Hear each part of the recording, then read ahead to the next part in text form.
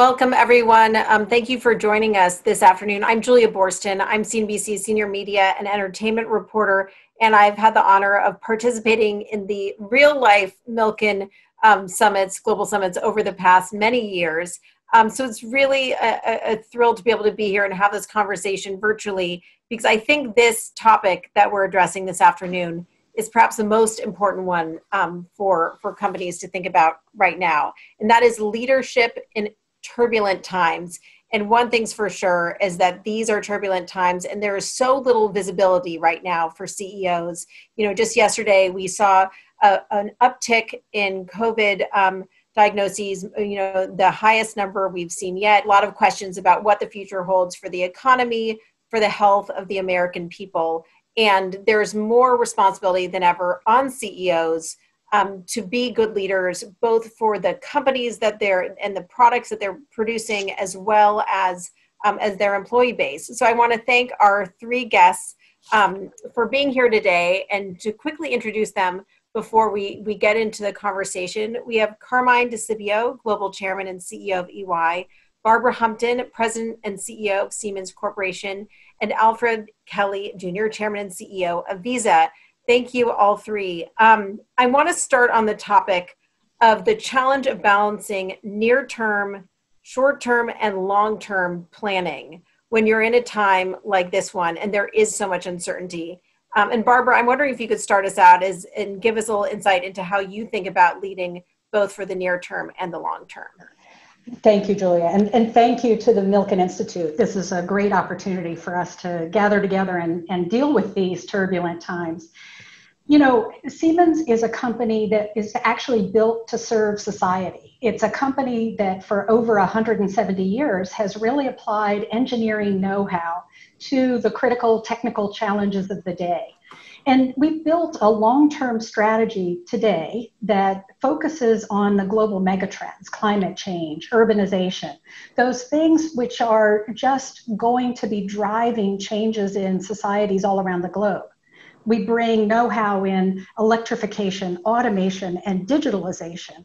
But here we are in this moment of tremendous disruption. And what we're finding is that the markets we're serving, be that energy, where we've needed to work to keep the lights on for our customers and for all of us so we can do this, and, and healthcare, where we've been mobilizing new treatments and vaccine, not, we are working towards vaccines, but also working on the um, antibody tests, the, the virus tests, et cetera, that are going to help us track and trace.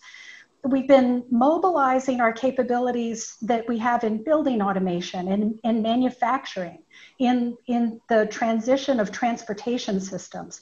I would say we've been a moment of response, moving to a moment of of um, resilience, but now beginning to think about reinvention.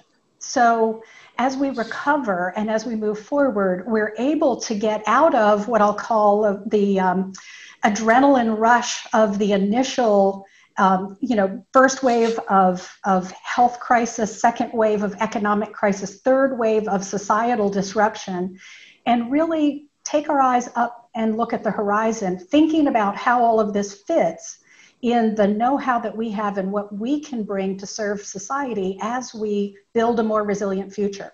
Um, one thing that's been interesting is we've really seen an acceleration of certain technologies through this crisis. And it seems like whether it's artificial intelligence or machine learning, these technologies will be far more important on the other end of this.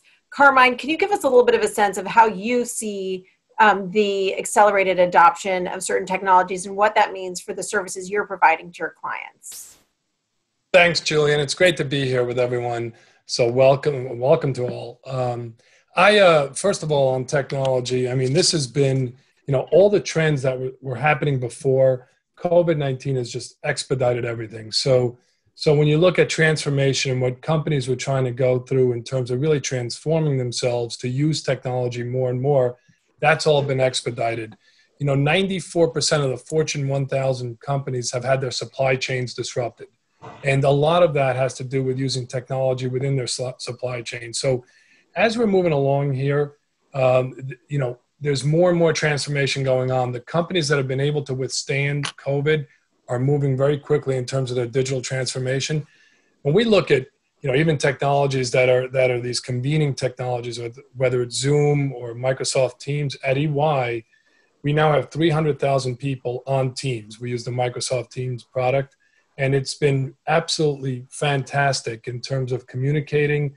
Uh, we do every meeting with it. We do client meetings with it, and Zoom is a similar type type situation that we're using today. So these technologies, convening technologies, have been really skyrocketing.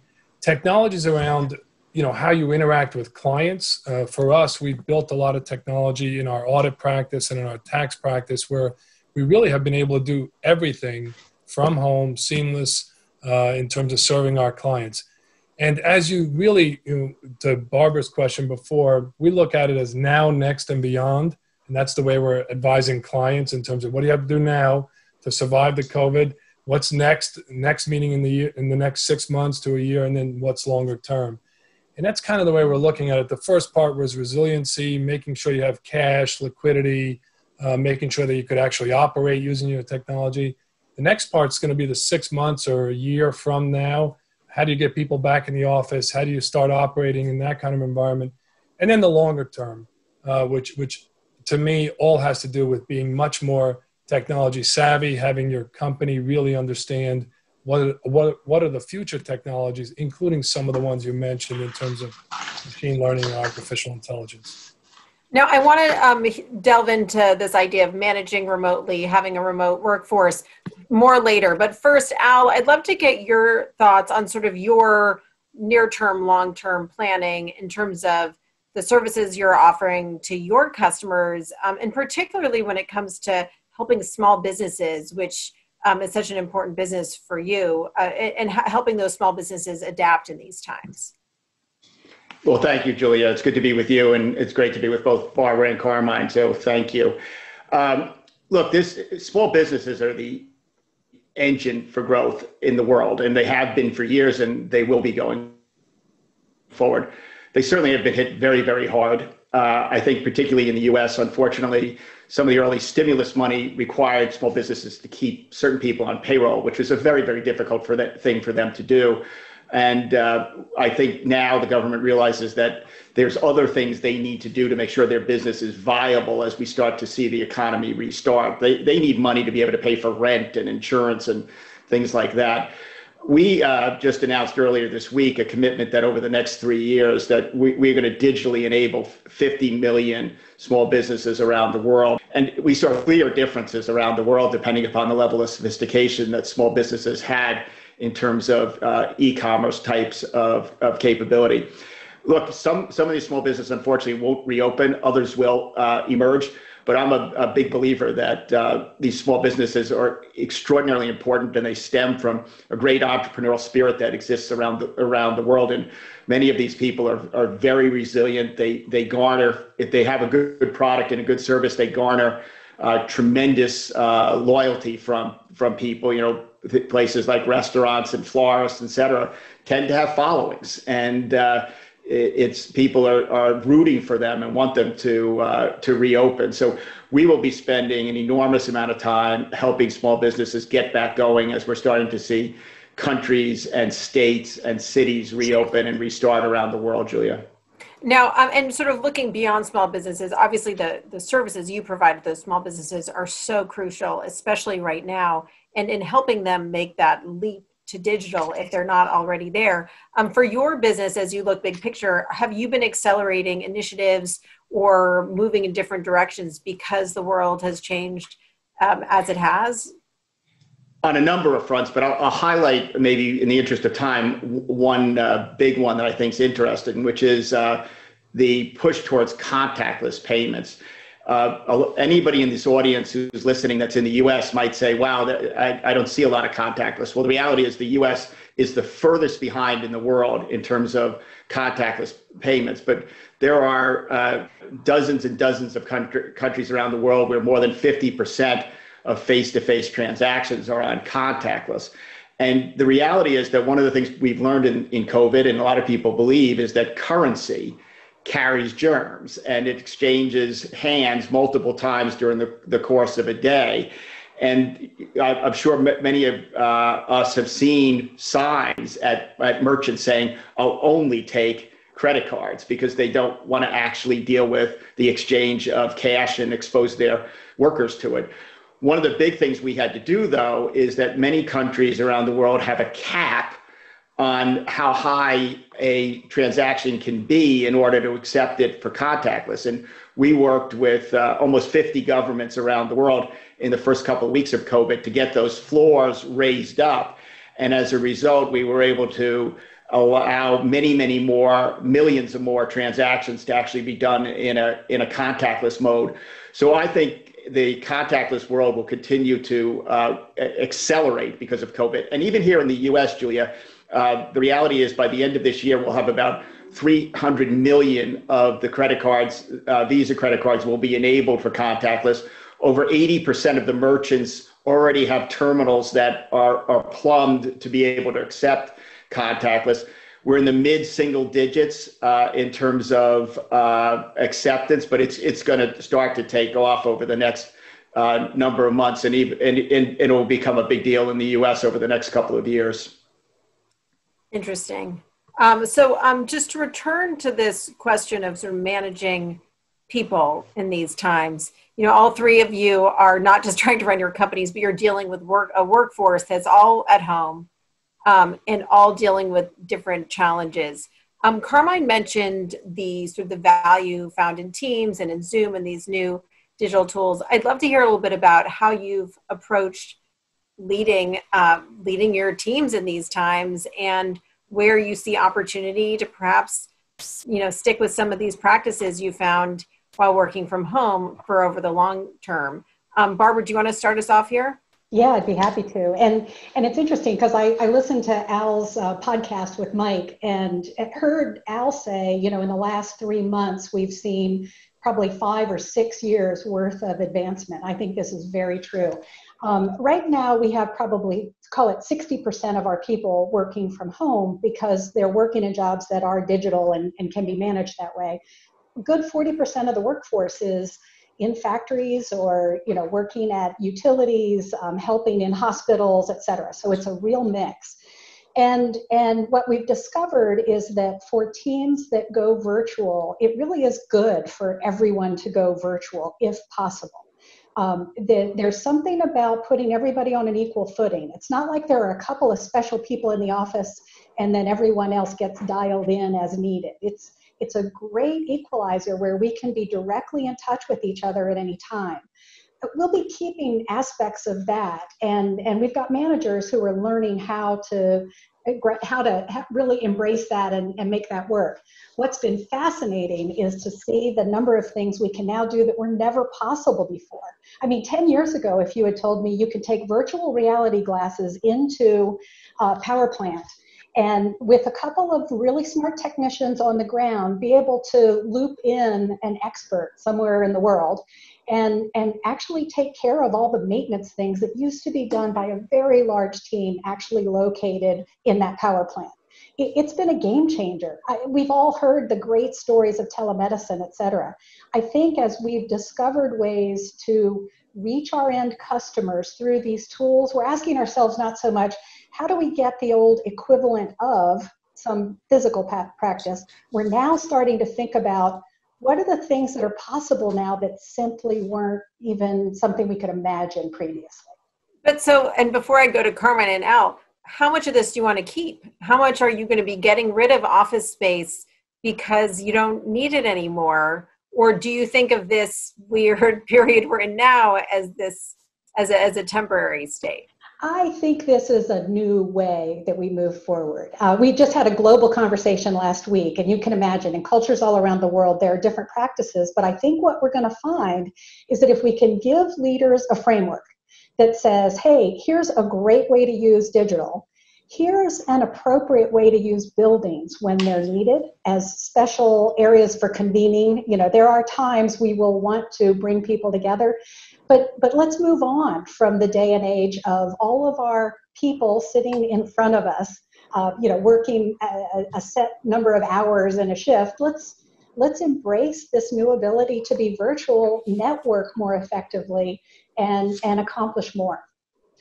Interesting. What, Carmine, um, your average employee age is 27 and a half years old. How does that change things when you have such a young workforce? Do people want to be in the office more? I thought you were going to ask me, do I feel old? Which I do, but uh, no. So, Julia, we, um, I, I, I'll tell you, some of this it depends on where where you start out. So, we had probably about twenty five percent of our people working from home before COVID, and so so now in the U.S., we I think we have ninety nine percent of our people working from home.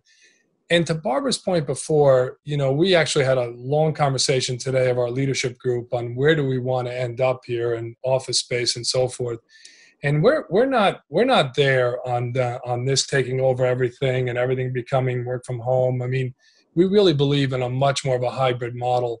A lot of it has to do around our culture. Uh, we really, you know, we love our culture, and it's a very much a people culture and so forth. So we we don't want to lose that culture. So we do think offices are going to be utilized a bit differently going forward. They're going to be convening areas and so forth versus just you go and you sit in a cubicle or in some kind of space. But, but we're very careful on this and we want to be very careful as we go forward. In terms of the age, it is interesting. So I've been on a lot of these Zoom calls and, and, um, and we've done a lot of surveys ourselves and surveys for clients. And the working from home uh, scenario, uh, for the most part, is much more comfortable for people, believe it or not, who are actually older, 45 and older, uh, people are much more comfortable working from home. And most of that is because they have a business network already, they have a lot of relationships already. And so, therefore, seeing people on video that they know already is, is pretty comfortable and it's fine, probably for a period of time. Um, for younger people in their 20s and 30s that are truly interested in building a career, now that's very different than a young person who just has a job to have a job, but are truly interested in building a career they want human interaction. They want to be able to build that network and so forth. And some people would say you could build a network virtually. Um, I think at least what the surveys tell us is that you have to have some real physical interaction. You have to be at places with people and so forth to really start building that that kind of network. So we found an age discrepancy in terms of what's comfortable and what's not, at least for the longer term. So we believe more in a hybrid in, in general, not not so much a big move of the pendulum. Now, I've seen the statistic that for EY, $1 billion worth of air travel amounts to 85% of your carbon footprint normally. When you look at that cost and then the environmental cost, and you look at the fact that no one's or very few people are flying anywhere right now, what does that do for your strategy going forward in terms yeah, of so actually flying people around?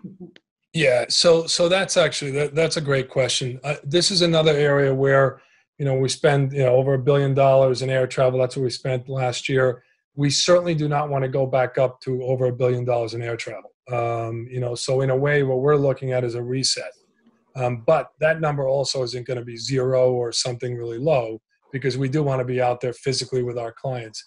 So we were talking today in terms of if we can get that number in a normal time and we can reduce that by 30% or you know a third or so, we feel that that's probably a much better place to be. I really do think you know when when you're in our business and you're dealing with clients and let's say you're on a client pitch um, what's going to happen? Once the danger you know in terms of the virus is over what's going to happen is if we're competing against two other firms and we're going to compete with al and we're doing every i mean we're going to pitch something to al or, or to barbara and we're going to be like okay well al let's do it virtually and so forth.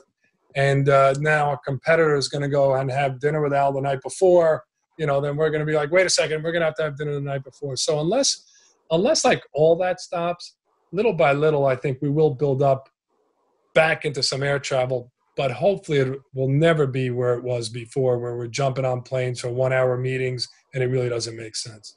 Now, Al, I know over half of your employees are millennials, I believe, and you 52%. also have very. Sorry. Fifty-two percent. Yep and then also big costs associated with air travel. How is your workforce adapted and what does it look like a year from now? Or hopefully we're out of this a year from now. Well, first of all, uh, you know we're a very global company. We operate in every country and territory in the world except the five the U.S. government has sanctions against, where we can't be. We have 97% of our employees working from home. Uh, we are in a technical and services business, and I have to say that after we got past through the first couple of weeks, uh, the productivity in the company has gone up. And um, we have developed new and, and interesting ways to all stay in contact with, with one another.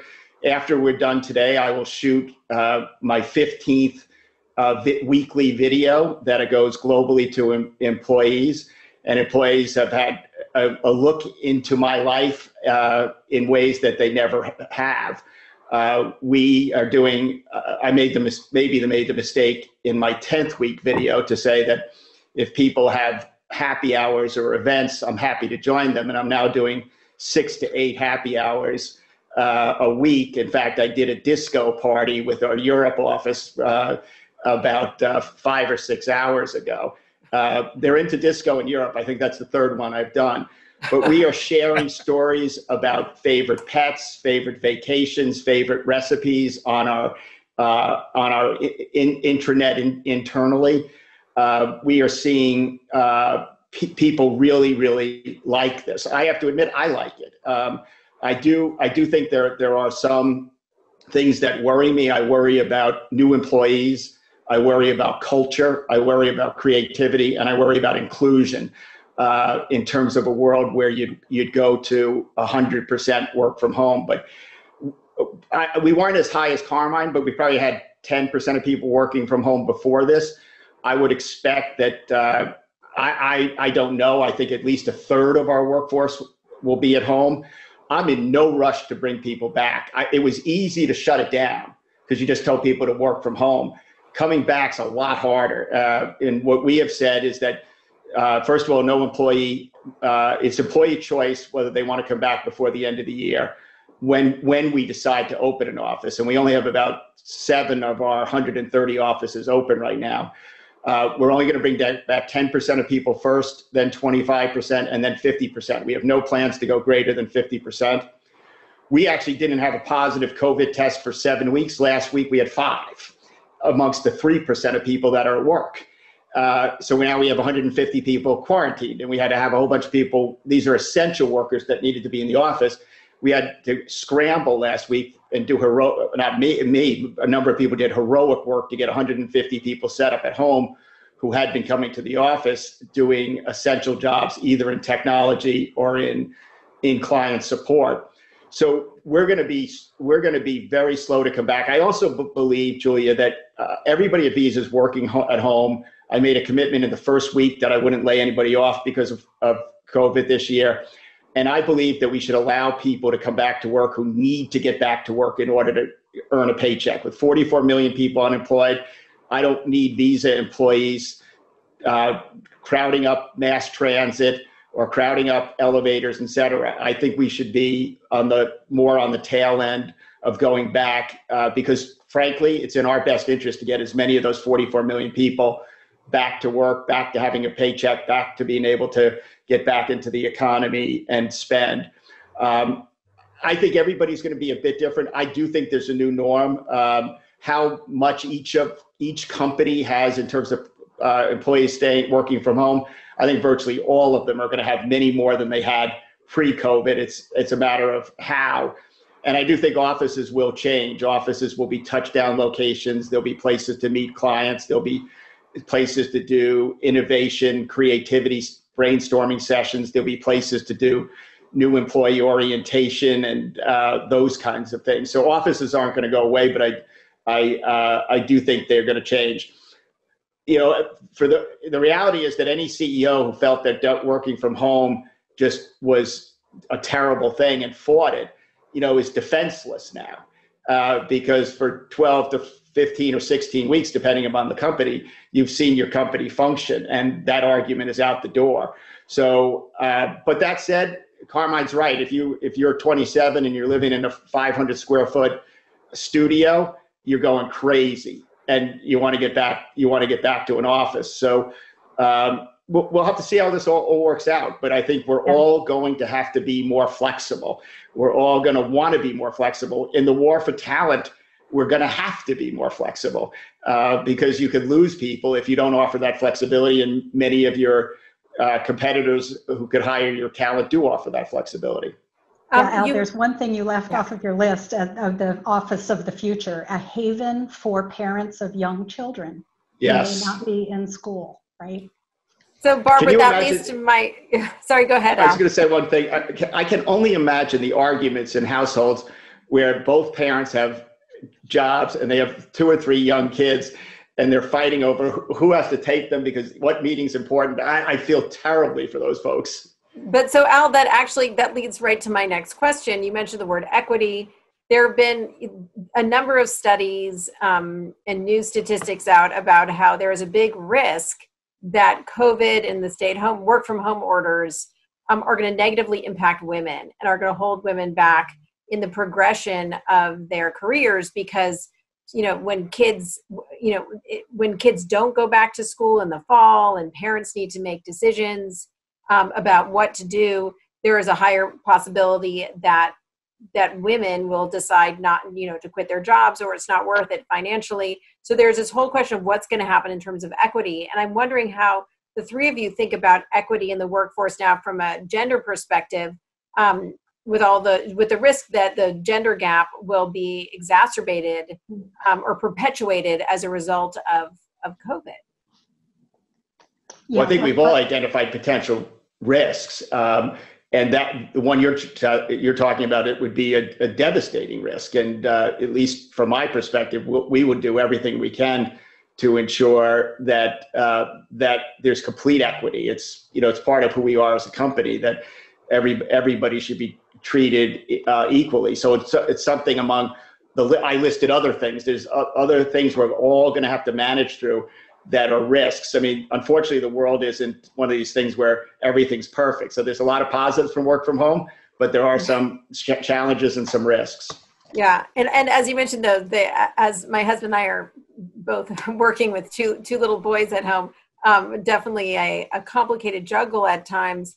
Um, and and it seems like it, it, you know al you've sort of referenced a lot of sort of you've had to be very empathetic on a very personal level as you've attended the disco parties in europe which is have a sense of sort of personal connection um, carmine what are you how are you approaching this issue to think about equity in the workforce now and then also as you start to hire again yeah so so we're we're we've been on the forefront of equity and inclusiveness, in particular around gender, for a long time. And uh, you know, I have a third of my global board are women, and uh, you know, a third of our partners are women. So you know, it is it is going to be an issue though at home. I have to tell you that this concept. I mean, there's an easy solution to this this issue, and that is kids need to be back in school in the fall. But that's that's very hopeful, uh, and we'll see what happens. But I do think, you know, today, and again, this depends on where you start. Um, dual careers are everywhere. There is childcare.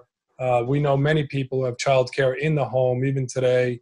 Um, I do think going into this, uh, if there is a second wave, I mean, I think people can plan for it better than what we did in the first wave, which most people didn't plan for it at all. So I think you can plan for childcare in the home or different ways of having childcare, uh, which will be helpful. But in terms of equity overall, um, I, I, do think this is going to be important. It's going to be important. This is why I talk about the pendulum and the pendulum. I don't think we want it to swing all the way one way um, because it, it is important that that people are able to work, that there is no biases, uh, and this is not just gender. This is across the board, uh, and we should get into a conversation around what's happening in terms of the racial situation. But but these are all incredibly important, and today they're more important than ever because as to Al's point earlier and Barbara's point, everyone needs talent, and talent is diverse, and we all want diverse talent, and and therefore we're going to be competing with this. And unless you have equity across the board in any situation, you're going to lose. Um, and Barbara, I, I do want to return to this issue of um, racial inequalities and the the protests and everything going on right now about that. But first, Barbara, I'd love to get you to finish your thought on the issue of of gender um, gender issues coming out of COVID in particular?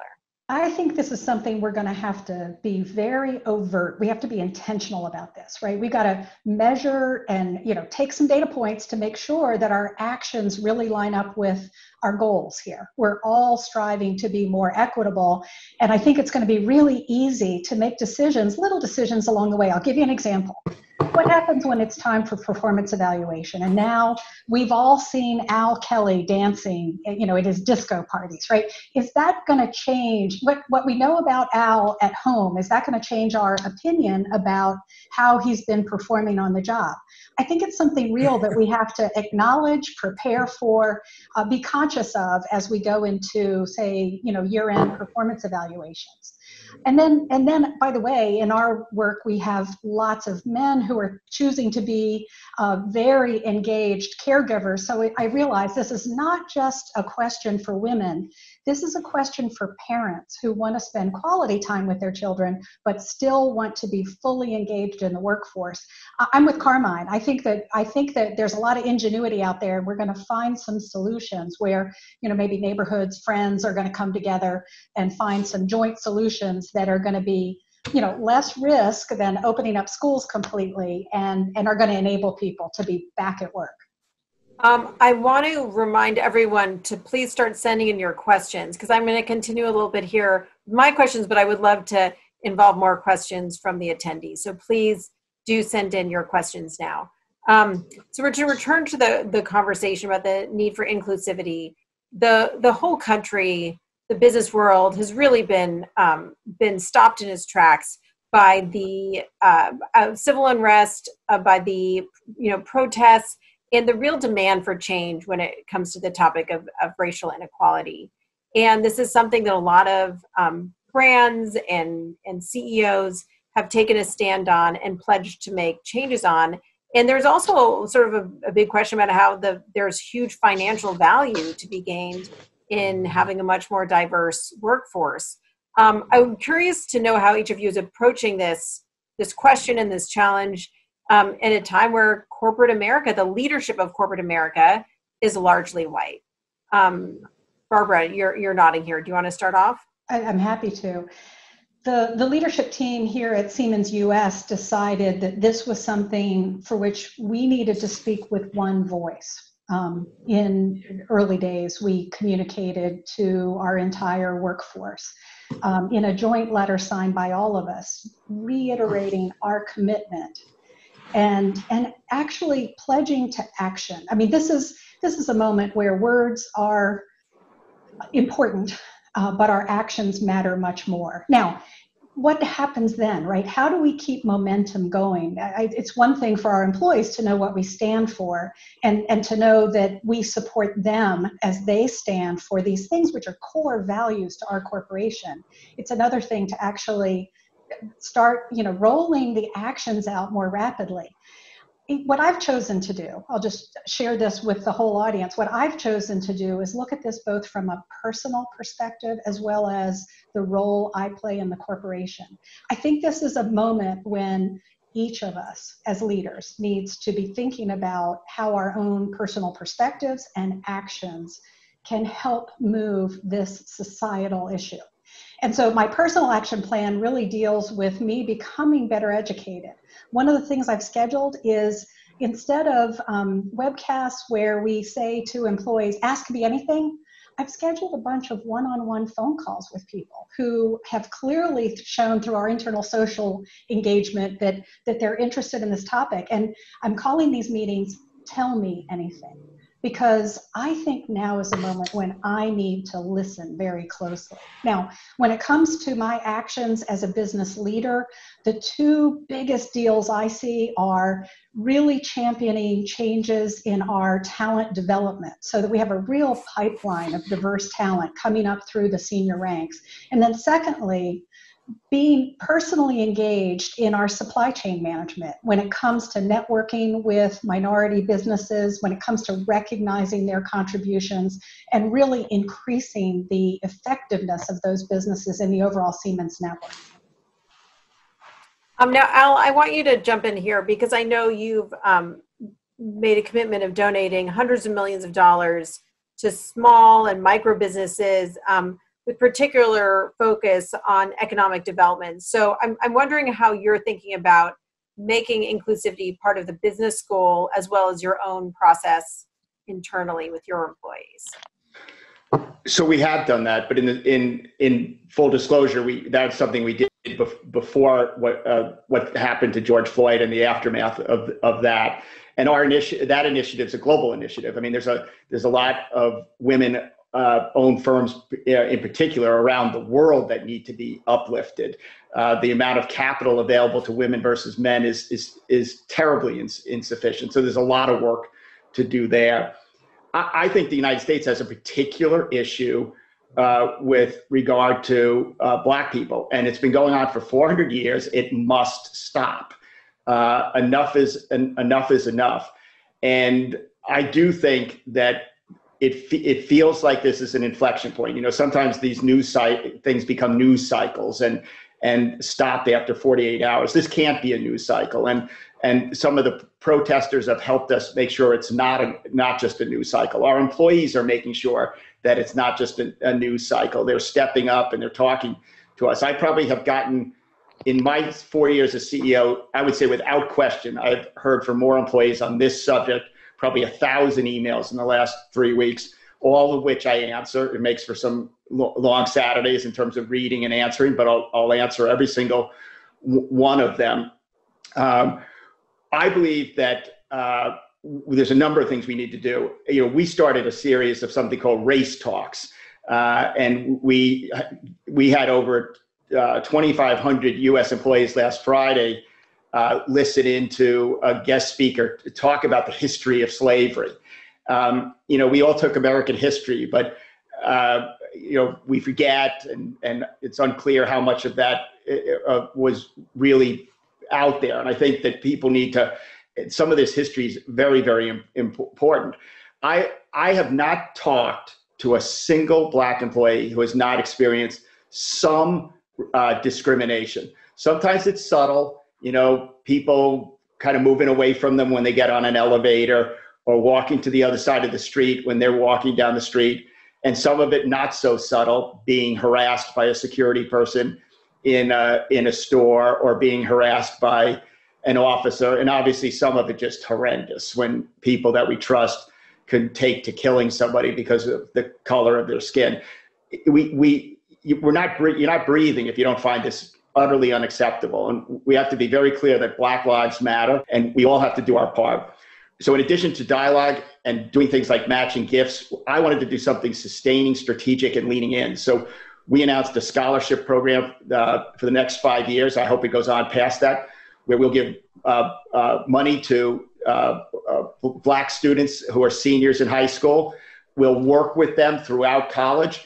And if they do their part, they'll have a guaranteed job at Visa uh, at the end of their, their four years of college. And I'm extremely excited about the prospect of having year after year after year young black people walk into the halls of Visa or the virtual halls of Visa to our earlier discussion and, and become uh, uh, a pipeline that will, in essence, make this representation issue go away. Because if we can, if we can plant many, many more seeds and and nourish those seeds, which is very important. It's not just getting people in the door; it's coaching them, it's mentoring them, it's being there for them.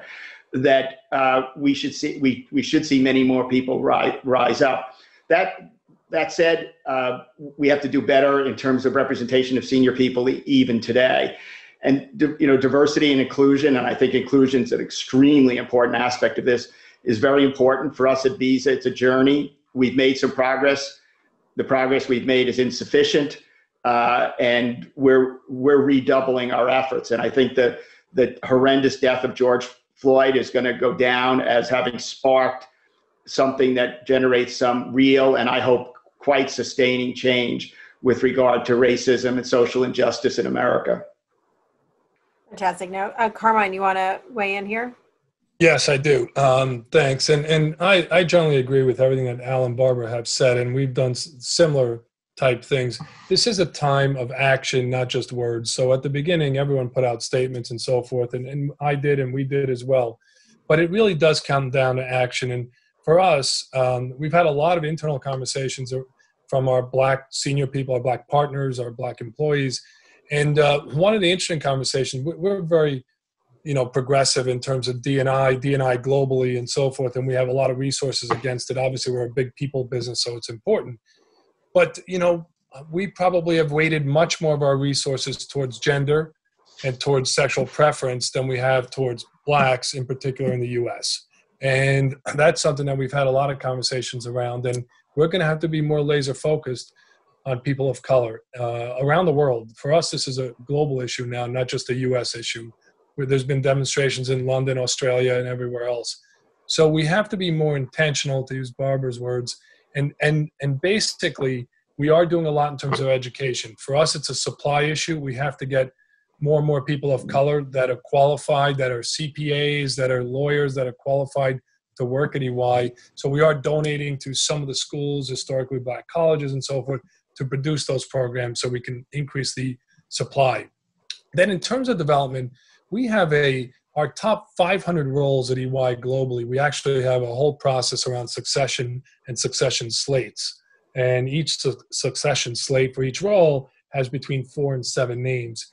And years ago, five, six years ago, we made sure that each slate had two women on it. Uh, that, and when I say focus on gender, this is the focus. We call it two in the pool.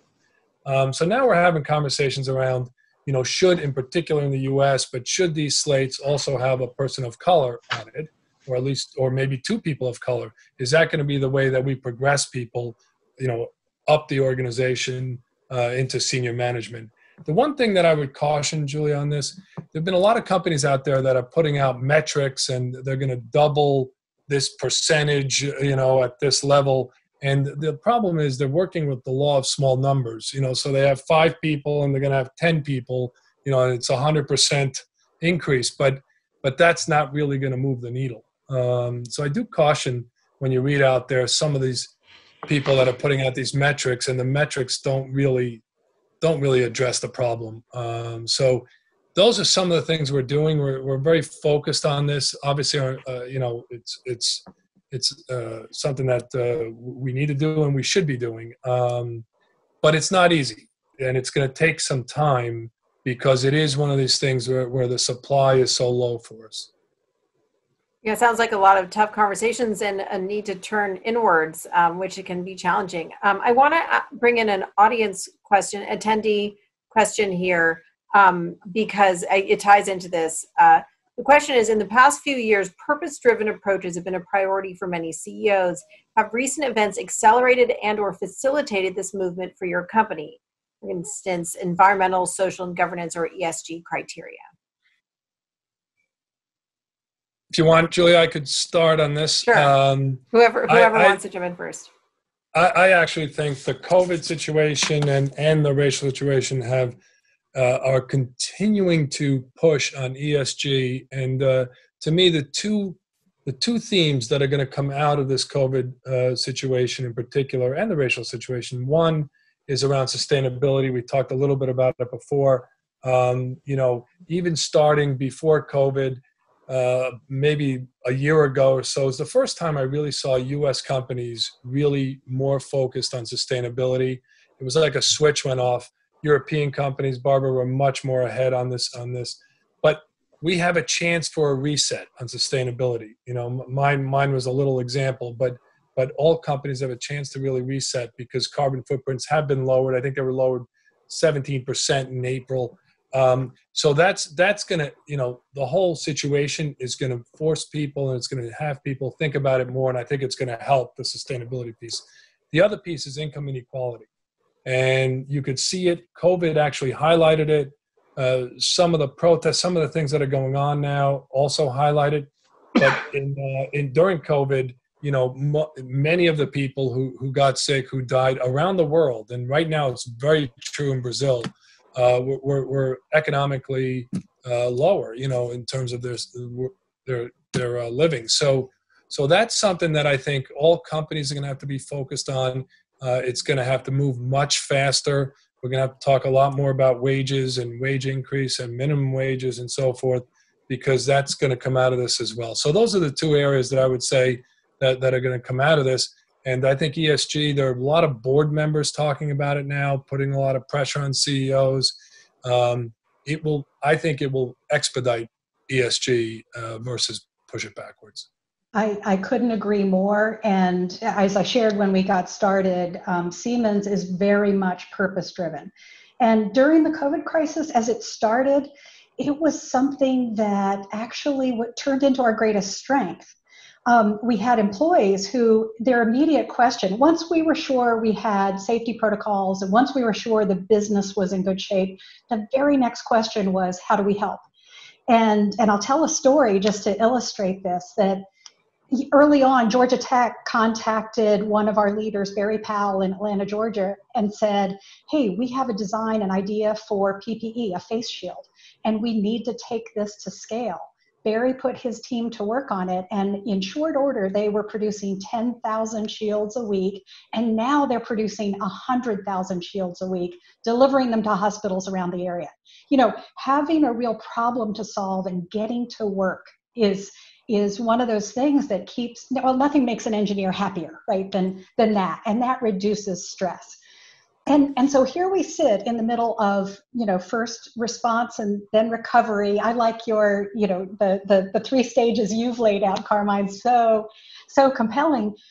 Now that we're thinking about the longer term this is a chance as we reset as as a nation we spend a lot of money on infrastructure we think as we you know get businesses started back up if we can think long term about our sustainability goals we have a chance to actually build forward build a more a, a more purposeful path forward. And and actually we're optimistic i'm pretty pretty energized by the prospect of how this focus is going to turn on the afterburners for business. Um, there these are great uh, great questions and answers I want to dig into some of these uh, other questions from attendees. One of them is um, thus far, discussions on doing business during the pandemic have largely focused on helping companies survive. As the world changes to accept our new normal, how can companies thrive in the COVID 19 economic environment? Well, I think everybody's got to find what the new normal means for their particular company. Uh, I mean, there for for Visa, there are some very b- big positives. Eighteen trillion dollars last year was spent on cash and check by consumers. To the degree people shun cash and check, that's a very very good thing for us. Governments are increasingly looking to get more active in terms of having their various subsidy programs be done in a more digital fashion. That's very good for us. The fact that Carmine's not going to spend a billion dollars having people travel around the world is less good for us. Uh, the fact that more people will uh, be pushing to, to buy online and get comfortable buying online. We had 35 million people in April go online to buy that didn't previously have had gone online. So all of those things are positive. So I think every every CEO and their executive team has to be saying there are there are positives that can come out of it, and I think everybody's got to try to figure out what those are. Carmine, you're nodding. You want to weigh in here? No, I mean, I think Al said it well. I think Al said it well. Um, one of the other questions here is um, whether it is time for racial and gender quotas in corporate leadership. Man, I'll go back to Carmine's comment. I'm not sure that I'm not sure that quotas get you there. Now, I think it's good to have goals, and then I think it's good to be honest with each other about where we are against those goals.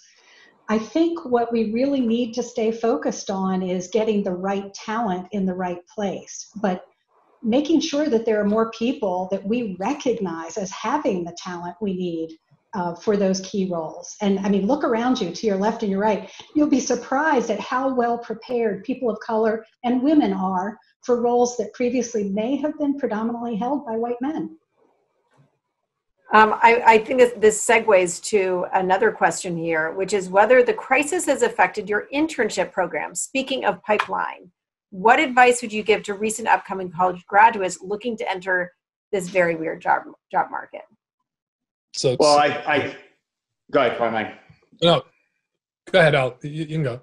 Look, I, I feel for uh, college junior seniors in particular. I mean, to miss out on graduation and potentially come into this job market is uh, is brutal, and timing in life can be horrible at times and great at times. Uh, we made a decision to continue with our internship program. We're doing it virtually. Uh, I think we're doing some neat things. We're making our Visa University available to continue to increase the learning of our interns. Uh, three times a week, we're having a senior person uh, spend time with the interns, telling them a little bit about their career and uh, and answer and what their job responsibilities and answer answer questions.